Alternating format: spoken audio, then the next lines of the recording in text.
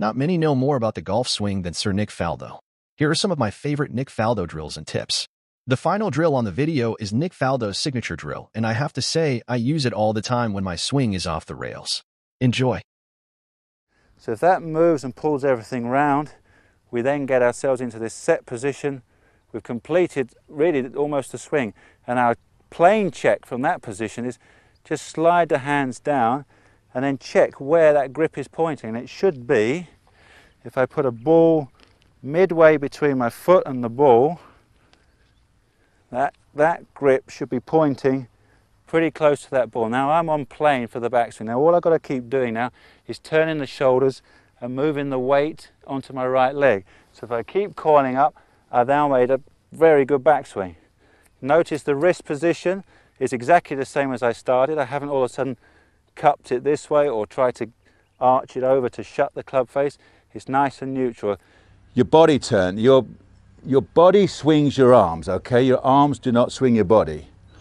So the very important is to learn a really good sequence in how you move your weight over, yeah? And that is really as simple as um, learning to put your weight, I call it 90, put 90% of your weight onto your right foot. Yeah, so you learn to get over. So by simply moving your right butt backwards, your right pocket behind you, your weight has to go. So if you if you stay here, I've still got my weight on my left foot, I can't pick it off the ground, can I? So you want to get over. So in the golfing terms, I used to do a lot of these drills. Jack Nicklaus used to do this every morning, warming up. Simply putting his weight over to his right foot, so he's literally 90%, and you crank your left hip over, your left pocket over, there's your big backswing. You've seen great backswings from Sam Snead and Tom Watson, and all sorts of people like that. And then you plant it down, there's your weight transference to start down, and then you fire through. So, next important thing, if you can do that really well, if you really believe in that, then you want your arms to connect with your body, to go in sync with you. If you simply don't move your arms, just lock them in and do that, I'd like you to think that's a pretty good takeaway position, isn't it? That's what we're all trying to get to. Everything's moved away in one unit. Club is in the right place. Yes, agree. So that's all we're looking for. Then we keep cranking. We keep turning and get our left shoulder under our chin. That's very important. Yeah. And as I said, then we start down from the ground up. So get your club face square, get your grip in the right place, and your left hand is like your hammer. If you can just pick it up and put it down, that's how your left wrist works in your swing. Very much up and down. So it works up here, doesn't it? It collects the ball and it's up here. So you're, you're hinging this way with you. So why not start with that? I think and that helps you find how to grip it, yeah, where your strength comes from. And if you're too weak, ouch, that hurts. And if I'm too strong, whoops, it doesn't want to come straight up.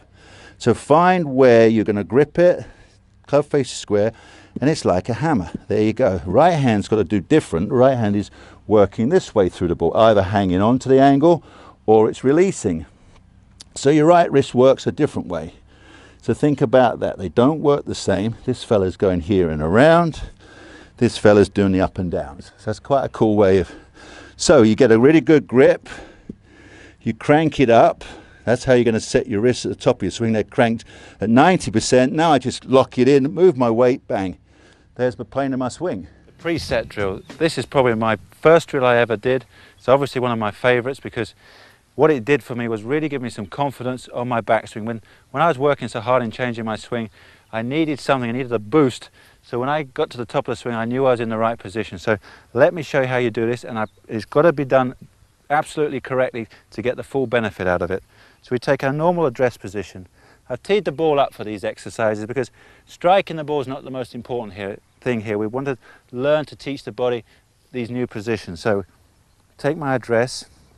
Now what I'm going to do is set my hands here without moving them backwards, right the way to the full set position and you can see two important things. One, the shaft is exactly in line with the one on the ground there, and it's also exactly horizontal.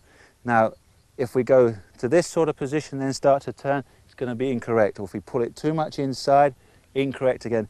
These are absolute musts. And from here, I can see this one quite clearly. And this, the horizontal one may take a little bit of time to double check, but once you get the feel of this one being parallel to the ground, you've got it. So set the wrist there, and all we have to do now is just continue turning. Just turn those shoulders, left shoulder under, and look at that.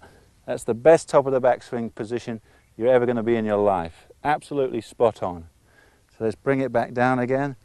So we wind it up simply with the shoulders turning, moving the weight to the right. We've got it absolutely spot on. Now what we will do is hit it from that position.